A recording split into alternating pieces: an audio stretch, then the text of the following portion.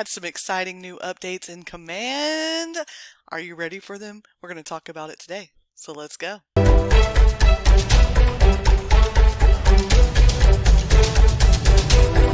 It's your favorite tech trainer, Bren Brewer, and I have an update for you today, and you are going to love this.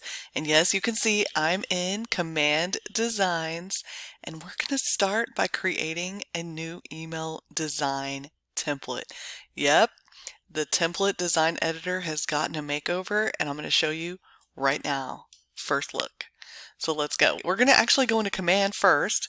We're going to click on designs and then we're going to click on create design and then we're going to click on email and click next. You have all these templates here, but we're going to click on create new template and you can see now there are all these layout options as well as content widgets. You have layout options. So I have found this to be super easy to use. See our three columns. Then maybe we want a divider and it's going to ask you what your height, your width, your line color, things like that. And then maybe you just want two columns and another divider and it's going to ask me my colors and then maybe two more columns, another divider and then three columns. So what I'm doing here is I'm creating just a little newsletter for my business and if I only wanted this to be one column, let me delete let me just delete and now it's one column. I could also just go ahead and drag in the one column here and then I would have two one columns. Now in that column I can come down to my widgets and then I'm just going to put an image here. And I already have an image uploaded. I'm going to use that one and click save. So that's going to be my logo. And then here,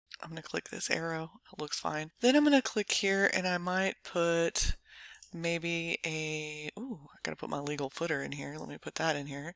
That's gonna go at the bottom. And then I might put a little video here and maybe even some text on this side and let's see what else do I want? Maybe a market snap here and then oh I changed it to one column. There wasn't room. Let me delete that. I don't want that there I'm going to come back up here and add a one column here at the bottom and put my neighborhood snap in that. You can also change your background as well. Color, you can do an image if you want to. Let's let's change the background to red. And you can see there's my red background. I don't really like red. I'm just going to put it back to white. See blocks. I'm going to go back to my content here. So I've got a video, I've got text. I might want to put a listing block in here. And it looks like that's too big. So maybe that's a one column place. So let's just change that to one column. We'll go put a listing block. I like that. I like that a lot.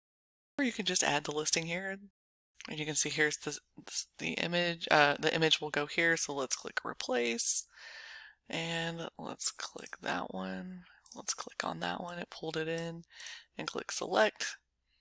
And then let's click done. Looks like it's not adding the image for some reason. Not sure what that's about. Let me go back to my video. Let's replace the thumbnail. You can see there's my thumbnail, and if I want to write text, I can do that. Okay, so I put my text in here. I really like this. Let me highlight this and make it centered. Let me highlight this and make it centered. And I can make that one centered too. And I'm done with that. I got my listing widget in here. I don't really want any of these columns anymore. I'm going to keep that divider. I'm going to take that out and delete that. Okay, so now I have my newsletter. Just got everything in here. I can click the eyeball and this is what my newsletter will look like. It's going to pull in my video when I put the URL in, so I forgot to do that. I only added a thumbnail. So let me go find my video. Let's put that in there. And then now we should have a video here. So let's look again. Cannot click on the preview, but yes, you can see everything looks good here. I really like that. And if you want to add more columns and things of that nature, you can. You can add any of these widgets. You wanted a legal header, you could put that in there as well. And let's look what that looks like.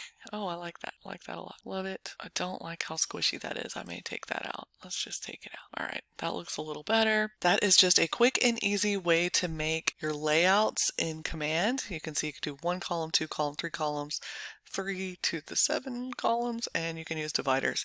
They have created a new experience in designs, and it is very easy to make this. And then don't forget to name your template so you can come back to it and use it. make sure you click save and close when you're done. And now you see I have my newsletter here that I can use. Click my three dots.